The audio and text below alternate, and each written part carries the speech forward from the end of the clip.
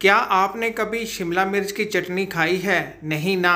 अस्सलाम वालेकुम मैं हूँ शाह मोहम्मद रफ़ी और आप देख रहे हैं food secret recipe YouTube channel तो आज हमारे किचन में बनी है बहुत ज़बरदस्त सी, मज़ेदार सी, चटखारी सी शिमला मिर्च की चटनी।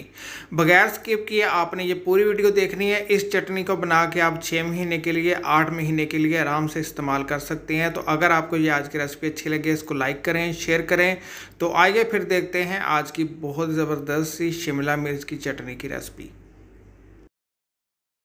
तो आइए अल्लाह पाक के नाम से आज की बहुत ही ज़बरदस्त सी शिमला मिर्च की चटनी की रेसिपी शुरू करते हैं। बनाना इस चटनी को बहुत ही आसान है और बहुत ही मज़े की बनती है। इस चटनी को बना के आप पूरे छः महीने के लिए, आठ महीने के लिए इस्तेमाल कर सकते हैं। ये बिल्कुल भी ख़राब नहीं होती, फ्रिज के अंदर रख के आप इसको यूज़ कर सकते हैं। यकीन माने आपके घर वाले सालन कम और ये चटनी ज़्यादा खाएँगे, बगैर स्किप किया आपने ये पूरी वीडियो देखनी है तो शिमला मिर्च की चटनी बनाने के लिए देखिए, मैंने टमाटर लिए थे आधा किलो। अच्छी तरह धो लिया था, धोने के बाद मैंने इनको मोटा मोटा काट लिया, दस अदद लिए मैंने कश्मीरी लाल मिर्च, सूखी वाली, ड्राई वाली। टमाटर के अंदर ही मैंने इनको भुगो के रख दिया था। अगर आपके पास कश्मीरी लाल मिर्च नहीं है तो आप इसके अंदर दूसरी मिर्च भी शामिल कर सकते हैं। लेकिन वो आपने कम शामिल करनी है, वो थोड़ी सी तीखी होती है। इस बात का आपने ख्याल रखना है तो इसके अंदर शामिल कर देंगे दो से तीन टेबल स्पून अदरक।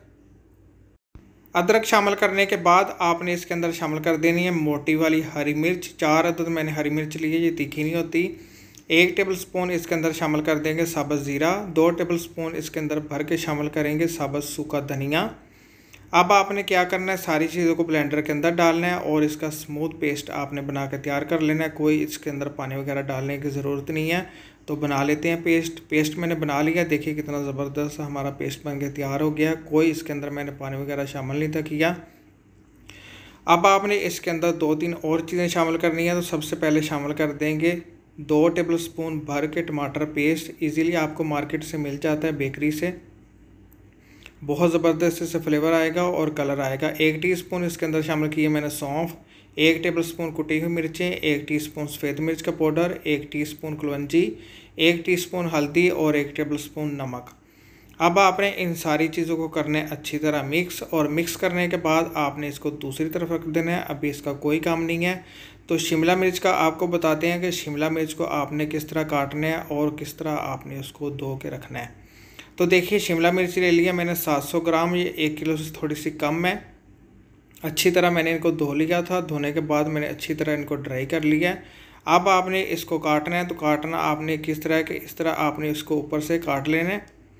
काटने के बाद आपने इसके अंदर से बीज निकाल लेने हैं। बीज निकालने ज़रूरी हैं, वो आपने इसके अंदर शामिल नहीं करने, इस तरह अंदर से बीज निकाल लेने हैं। ये देखिए, बीज मैंने निकाल ली है और बिल्कुल आपने इसको ब्रीक काट लेना है। ज़्यादा मोटा नहीं रखना, बिल्कुल ब्रीक आपने इसको काटना है। इस तरह मैं आपको दिखा रहा हूँ। ये देखिए, इस तरह आपने इसको काट लेना है। बहुत ही ज़बरदस्त ये कट जाती है और जल्दी काम हो जाता है इससे। तो इसी तरह सारी शिमला मिर्च काट लेते हैं तो फिर आपको दिखाते हैं। तो देखिए, सारी शिमला मिर्च को मैंने काट लिया है। बहुत ही ज़बरदस्त सी शिमला मिर्च कट के तैयार हो गई है। अभी शिमला मिर्च का कोई काम नहीं है। इसको रख देते हैं दूसरी तरफ़। इसी तरह का आपने इसको ब्रिक काटना है। तो शिमला मिर्च की चटनी बनाने के लिए दो मीडियम साइज़ के प्याज लिए थे। इनको स्लाइस करके पैन के अंदर शामिल कर दिया है। इसके अंदर शामिल कर देंगे एक अदद दालचीनी की स्टिक। बड़े साइज़ की मैंने ली है। दो अदद शामिल कर देंगे। इसके अंदर टेस्ट पत्ते। इससे बहुत ज़बरदस्त सा चटनी का फ्लेवर आएगा। एक गट्ठी लहसन की ली है। इसको मैंने साबित रखा है। एक कप भर के इसके अंदर शामिल कर देंगे कुकिंग ऑयल मैंने कुकिंग ऑयल का इस्तेमाल किया, आप इसके अंदर सरसों का ऑयल भी शामिल कर सकते हैं एक कप भर के। उससे भी बहुत ज़बरदस्त सा चटनी का फ्लेवर आएगा। अब आपने फ्लेम ऑन करनी है और हाई फ्लेम के ऊपर आपने प्याज को और लहसन को लाइट सा गोल्डन करना है। प्याज को और लहसन को ज़्यादा आपने काला नहीं करना लाइट सा गोल्डन करना है। अब आपने इसके अंदर शामिल कर देना है जो हमने सारी चीज़ों का पेस्ट बना के रखा हुआ था। फ्लेम हाई कर देनी है आपने और हाई फ्लेम के ऊपर आपने इस सारे मसाले को अच्छी तरह भूनना है पाँच से सात मिनट के लिए जब तक कि इसका ऑयल ऊपर ना जाए। भूनना बहुत ज़रूरी है, इसी की वजह से चटनी का फ्लेवर आएगा, बहुत ज़बरदस्त सी चटनी तैयार होगी। बिल्कुल भी आपने इसके अंदर पानी नहीं छोड़ना। सारा टमाटर का पानी आपने इसके अंदर ड्राई करना है हाई फ्लेम के ऊपर पाँच से सात मिनट के लिए। देखिए, पाँच से सात मिनट हो गए हैं। पाँच से सात मिनट के लिए अच्छी तरह मसाले को हमने हाई फ्लेम के ऊपर भून लिया है। बहुत ज़बरदस्त सा मसाला हमारा भून गया है। और देखिए, कितना ज़बरदस्त मसाले का कलर आ गया अब आपने इसके अंदर शामिल कर देनी है शिमला मिर्च जो हमने काट के रखी हुई थी। शिमला मिर्च के अंदर कोई आपने पानी वगैरह शामिल नहीं करना। इसको दम के अंदर पकाना है। मसाले के अंदर अच्छी तरह मिक्स करेंगे। मिक्स करने के बाद आपने इसको ऊपर से कवर कर देना है। स्लो फ्लेम के ऊपर 10 मिनट के लिए बीच बीच में चमचा आपने इसके अंदर ज़रूर चलाना है। तो मिलते हैं इंशाल्लाह, दस मिनट बाद फ्लेम आपने बिल्कुल स्लो रखनी है, कोई इसके अंदर पानी वगैरह डालने की ज़रूरत नहीं है। दम के अंदर शिमला मिर्च को हमने पकाना है, दस मिनट हो गए हैं, दस मिनट के लिए मैंने शिमला मिर्च को दम के अंदर पकाया है। बीच बीच में एक दो बार मैंने चमचा चला दी। देखिए कितनी ज़बरदस्त से हमारी शिमला मिर्च सॉफ्ट हो गई है और कितना ज़बरदस्त इसके ऊपर कलर आ गया है, जो हमने इसके अंदर शामिल किया टमाटर पेस्ट और कश्मीरी लाल मिर्च का इस्तेमाल किया उससे बहुत ज़बरदस्त सा इसके ऊपर कलर आ जाता है।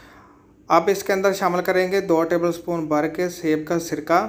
अगर आपके पास सेब का सिरका नहीं है तो आप इसके अंदर सफ़ेद सिरका भी शामिल कर सकती हैं। सिरका शामिल करने का ये फ़ायदा होता है, एक चटनी का फ्लेवर और बढ़ जाता है।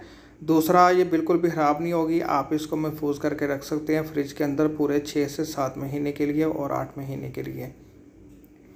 एक से दो मिनट के लिए मैंने हाई फ्लेम के ऊपर इसको भून लिया, धनिया और सिरका शामिल करने के बाद अब मैं इसकी फ्लेम बंद कर रहा हूँ। बहुत ही ज़बरदस्त ही हमारी शिमला मिर्च की चटनी बन के तैयार हो गई है। अल्हम्दुलिल्लाह अल्हम्दुलिल्लाह। देखिए, इस तरह का मैंने एक जार लिया है। इसको जार के अंदर शामिल कर देते हैं चटनी को। और ये देखिए, आपका बिल्कुल जार साफ़ होना चाहिए, बिल्कुल भी इसके अंदर पानी नहीं होना चाहिए। आपने इसके अंदर चटनी शामिल कर देनी है।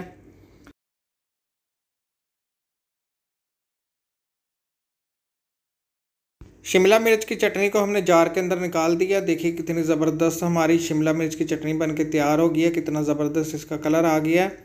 जब भी आपका दिल करे ये चटनी खाने का तो एक चम्मच निकालें घर के बने पराठे के साथ, रोटी के साथ, चावलों के साथ। बहुत ही मज़े की लगेगी चटनी आपको। आप इस जार को बंद करके फ्रिज के अंदर रख सकते हैं। ये बिल्कुल चटनी ख़राब नहीं होती। छः महीने के लिए, आठ महीने के लिए आप इसको इस्तेमाल कर सकते हैं। ज़रूर बनाइएगा। तो अगर आपको जो मेरी आज की रेसिपी अच्छी लगे, इसको लाइक करें शेयर करें और मेरे चैनल को सब्सक्राइब करें, जिसका नाम है फ़ूड सीक्रेट रेसिपी और साथ में नोटिफिकेशन को प्रेस करें ताकि मिल सके आपको मेरी हर आने वाली वीडियो सबसे पहले देखने के लिए। तो इसी के साथ मोहम्मद रफ़ी को दीजिए इजाज़त। अपना और अपने घरवाल का ख्याल रखें, मुझे तो हम याद रखें। मिलते हैं एक नई रेसिपी में, एक नए फ़न के साथ। अल्लाह हाफिज़।